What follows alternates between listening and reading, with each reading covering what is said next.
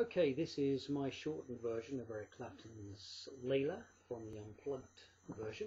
I hope you enjoy it.